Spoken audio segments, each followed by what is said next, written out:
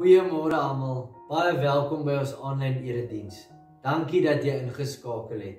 Dit is my baie lekker om ver oggend weer te kan preek na ek 'n goeie afnaweek gehad het. Dit kan darm wonders aan 'n mens doen.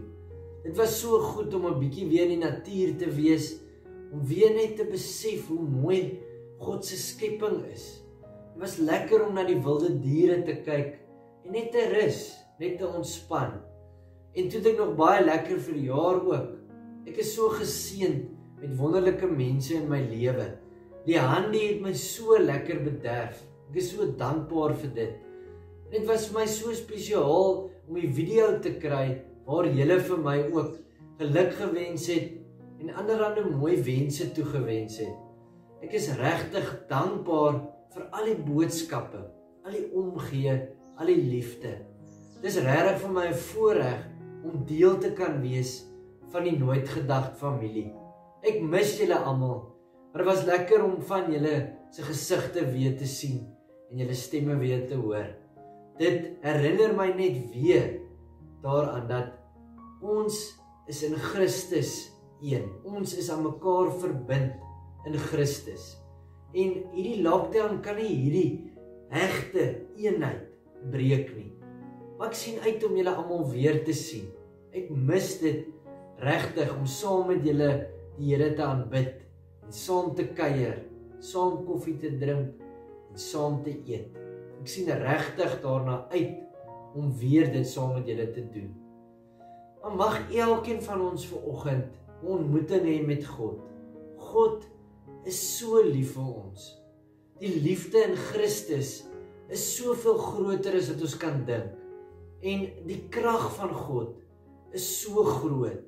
Mag God elkeen van ons ver oggend kom ontmoet. Mag God ons help om bewus te wees van sy teenwoordigheid.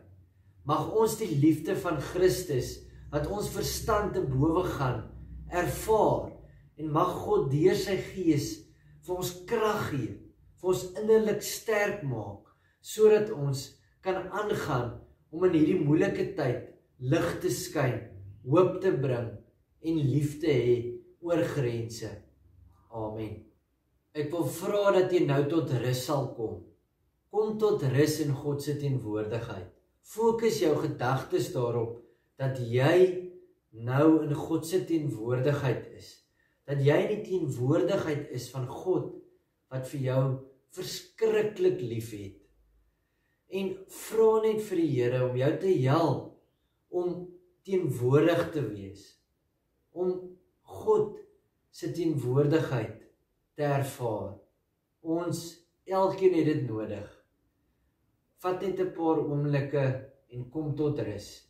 Pause die video en dan kyk jy weer verder. Op 'n mens se verjaarsdag kry jy gewoonlik sulke mooi wense. En dis spesiaal, dis 'n voorreg. Dis iets om oor dankbaar te wees. Maar dit is sleg dat ons soms net vir mense sulke mooi wense gee as hulle verjaar.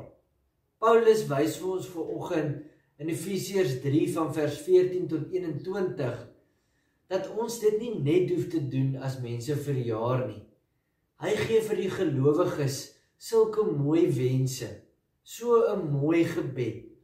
En een van die dinge waarvoor hy vir hulle bid en wat hy vir hulle toewens is dat hulle in Christus se liefde gewortel en gegrondves sal wees. Dit is so 'n mooi gebed wat hy vir hulle bid. En ons almal het daardie gebed nodig. Dit laat my nou dink aan 'n vrugteboom of 'n suurlemoenboom. Ek het suurlemoene by die huis en dit dink ek sommer hier aan. 'n Suurlemoenboom gaan nie hierdie vrug kan oplewer as hy nie goeie wortels het nie. Om vrug te dra, moet hy goed gewortel wees. Die wortels voed die boom en dit gee stabiliteit sodat hierdie boom vrug kan dra. En so is dit met ons ook.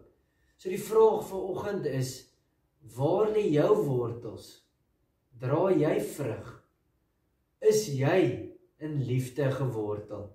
Dink 'n bietjie hieroor na. Pause die video, lees dan die teks rustig deur En dan kyk of luister jy weer verder. Efesiërs 3 vers 14 tot 21. Daarom kniel ek voor die Vader. Hy is die Vader van elke gemeenskap in die hemel en op die aarde. Mag hy deur sy gees uit die rykdom van sy goddelike grootheid aan julle die krag gee om innerlik sterk te word. Dan sal Christus deur die geloof in julle harte woon en sal julle in God se liefde gewortel en gegrondves wees. Mag julle in staat wees om saam met al God se mense te begryp hoe hoe breed en hoe lank en hoe groot en diep sy liefde is. Dan sal julle Christus se liefde wat alle verstand te bowe gaan beleef. Mag julle heeltemal met die volheid van God vervul word. Hy moet geprys word. Hy wat mag het om deur die krag wat in ons werk oneindig meer te doen as wat ons ons vra of dink om te vra. Die kerk wat aan Christus Jesus verbind is, moet hom prys deur al die geslagte heen tot in alle ewigheid. Amen. Vanoggend se gedeelte is deel van die tweede deel van die Efesiërsbrief wat handel oor God se verlossende werk. En in die gedeelte wat vanoggend se gedeelte voorgaan, sê Paulus dat dit vir hom 'n voorreg is om die evangelie te kan bedien aan die nie-Jode. En is interessant as mens in ag neem dat hy dit sê terwyl hy in die tronk sit. Waarskynlik in die tronk in Rome. Dit is as gevolg van die verkondiging van die evangelie wat hy daar sit. Maar steeds besef hy hoe groot die genade is dat God hom gekies het as 'n apostel vir die heidene. Dit is nog steeds vir hom so 'n voorreg om die goeie nuus te kan bring aan hulle dat hy eintlik net sê dankie. Dit is wonderlik. Hy kla nie. Hy sê dankie. Dis vir hom 'n eer, 'n voorreg. Met vanoggend se gebed sluit Paulus die tweede deel van hierdie Efesiërsbrief af. En hy doen met groot respek en eer teenoor God voorbinding vir die gelowiges. En hierdie gebed sluit aan by die gebed wat hy in hoofstuk 1 van vers 15 tot 23 gedoen het. Maar dit gaan ook verder. Paulus bid in vanoggend se gebed weer vir kennis, soos hy in die eerste gebed gebid het. Hy bid vir kennis vir die gelowiges, maar hierdie keer is dit kennis van die liefde van Christus. En hy bid daarvoor want hy weet gelowiges kan dit nie met hulle menslike vermoëns verstaan nie. Dit moet aan hulle gegee word. Dit moet aan hulle geopenbaar word, bekend gemaak word. God moet gelowiges help om dit te kan verstaan. Ons kan nie net op ons eie dit verstaan nie. Paulus bid weer vir krag dat gelowiges die krag van God sal ervaar, maar nou word dit spesifiek met die Gees verbind.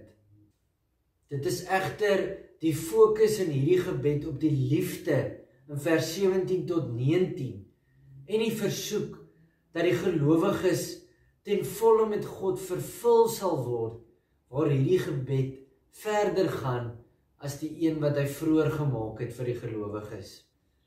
As 'n mens kyk na hierdie gebed, dan lyk dit of daar onder die heidense Christene in Klein-Asië neigings was na onstabiliteit en worteloosheid. Dit lyk ook of daaronder van die heidense Christene 'n gevoel van minderwaardigheid was en ook verwarring. Dit kan wees in die lig van ander volgelinge van Jesus en hulle wysheid en hulle ervaring van God. Party van hierdie heidense Christene het dalk ook getwyfel of hulle werklik ten volle deel is van die kerk. Vir party het dit dalk nog steeds gevoel asof hulle maar eerder net bywoners is.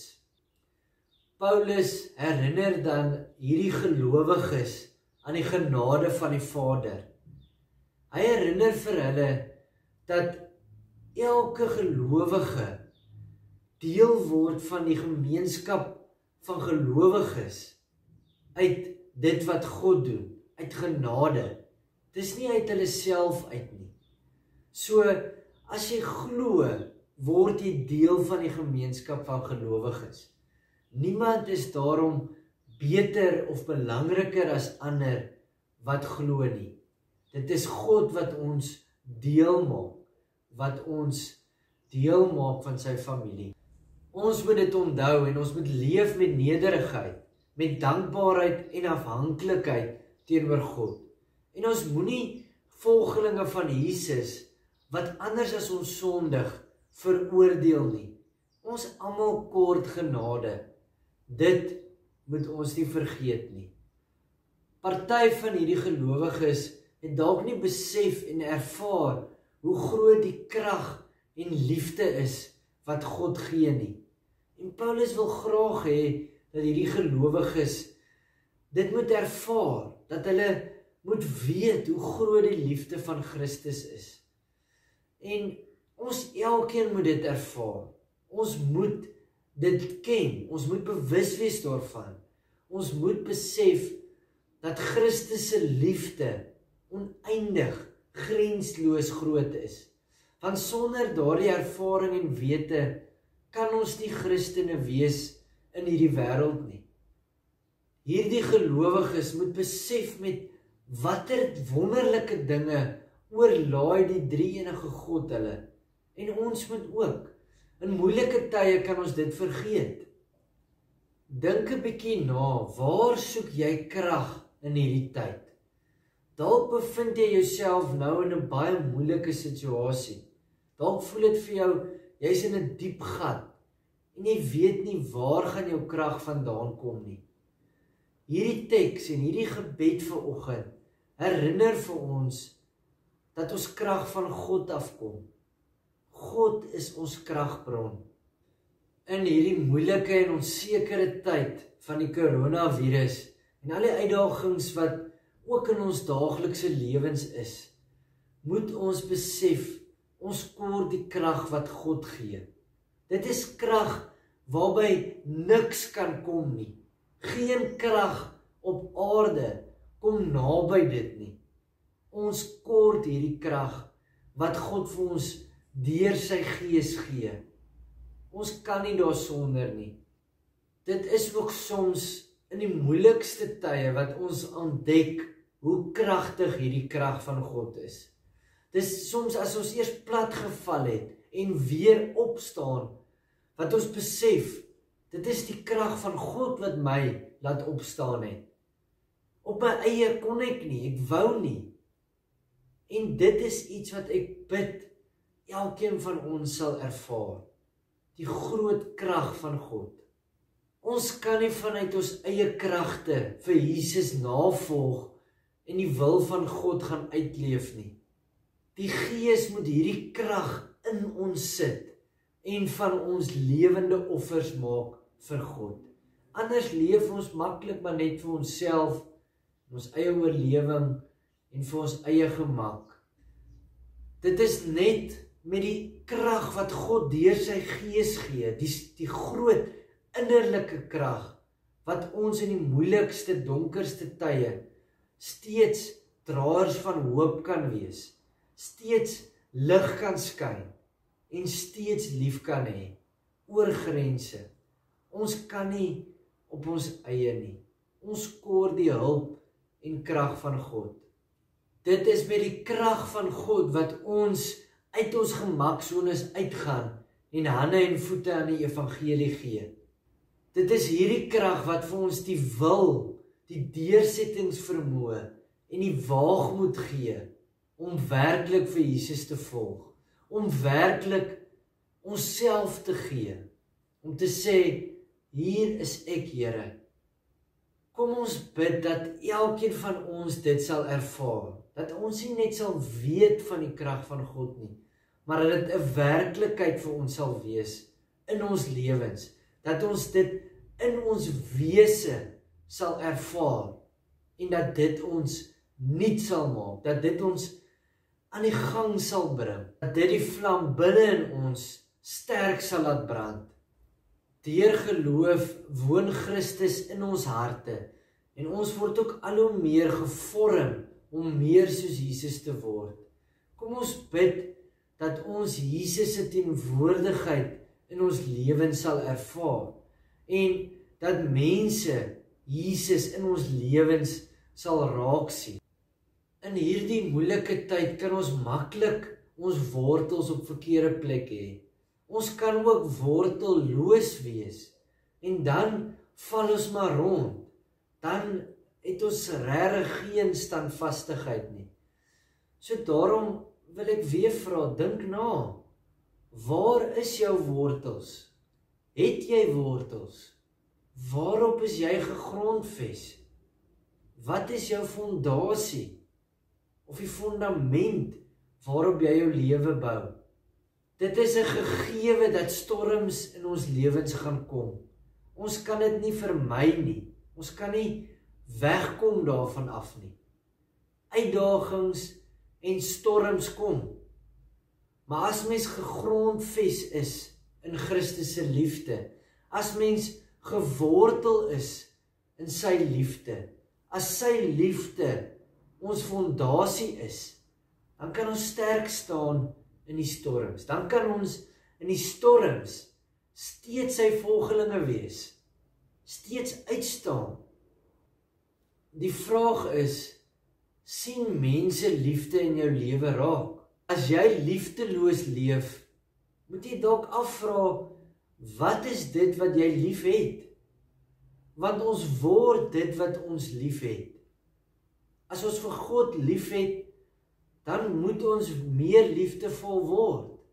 Kom ons bid dat ons in Christus se liefde gewortel en gegrondves sal wees.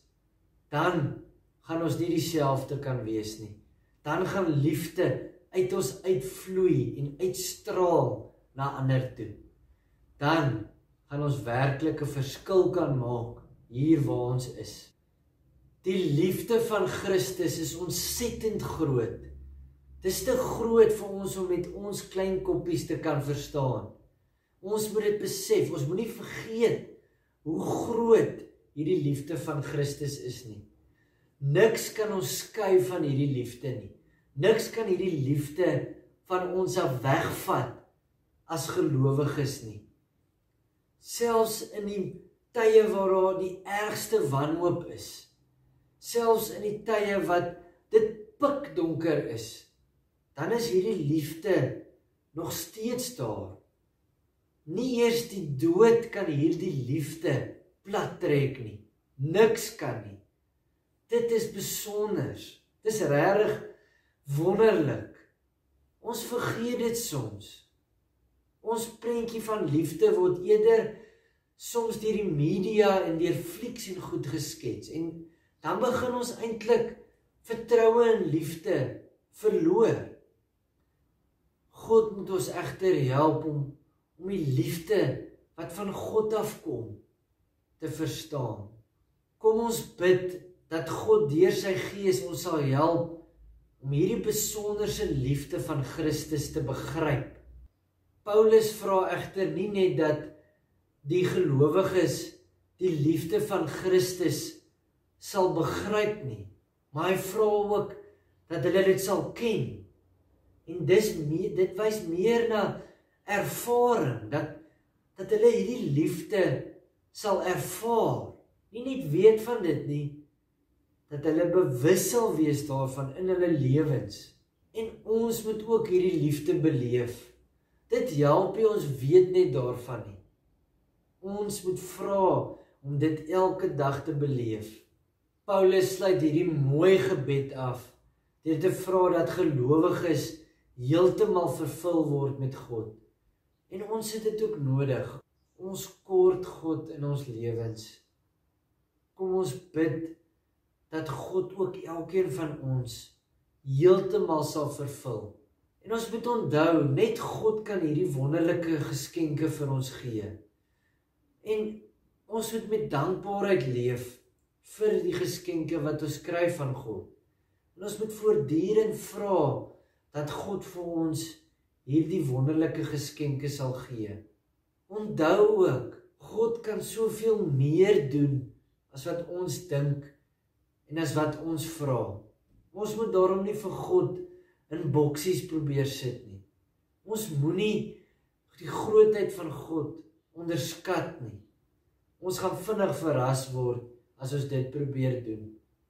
God kan wonderlike dinge doen. Hy kan werklik vir ons help. Ons moet dit nie vergeet nie.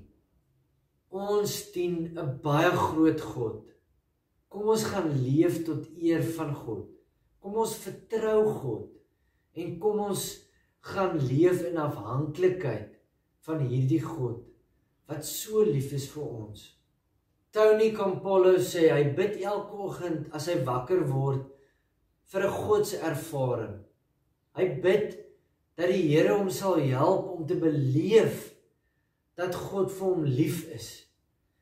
Hy bid dat hy sal ervaar dat God by hom is en hom vervul. Hy bid ook dat God homself gebruik. En hy sê sedert hy sedert dat hy dit gedoen het, het sy lewe verander. En die gemeente waar hy leraar is, het ook hierdie dinge begin bid en hulle was ook nie dieselfde nie. Mag ons dit ook bid en mag ons verras word deur wat God in ons en deur ons doen. Amen. Kom ons bid saam. Here ons God, ons dank U vir U ontsettende groot liefde en genade. Dankie vir alles wat U vir ons doen. Dankie dat U daar is vir ons. Dat U ons raak sien, dat U ons hoor. U krag is so groot.